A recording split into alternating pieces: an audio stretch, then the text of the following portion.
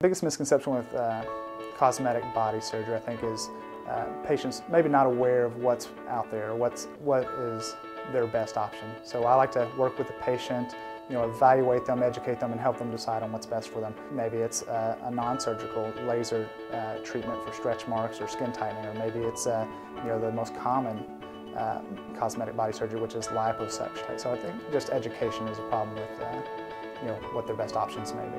How I differ from other uh, surgeons in my approach to cosmetic body surgery is I, I want to give the patients options. You know, not every patient needs uh, a surgery. You know, not every patient needs a tummy tuck.